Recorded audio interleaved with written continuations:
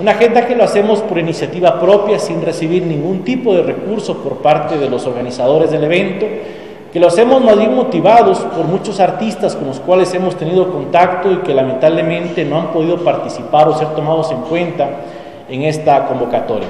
El evento propuesto se denomina Viva la Casa, Cultura y Libertad. Estará vigente desde el 20 al 29 de noviembre. Obras de teatro, eh, eh, eventos eh, musicales, pintura, en fin, son una cantidad de eventos que los realizamos con mucho gusto con la posibilidad de que los artistas eh, locales puedan participar. No existe, señala el director de la Casa de la Cultura, un ánimo de boicot para los eventos oficiales, aunque obviamente hay críticas que hacer. Y en su debido momento, la Casa de la Cultura eh, dará a conocer eh, las críticas correspondientes para que los procedimientos culturales, las actividades culturales, las convocatorias culturales en torno al festival puedan fortalecerse para ediciones posteriores.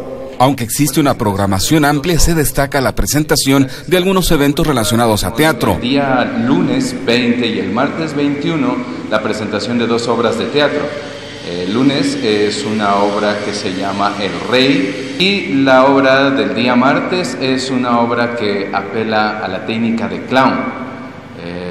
Es una obra más que nada dirigida para la familia. También el miércoles 22 de noviembre se presentará el festival Canciones de Autor en Familia. No se da todos los días este tipo de, eventos, pero me ha tocado la suerte como padre tener una esposa que me acompaña en la vida y en los sueños, en el canto, y tengo tres hijos que son cantautores, los tres y hemos decidido, junto a Diego y a la Casa de la Cultura en sí,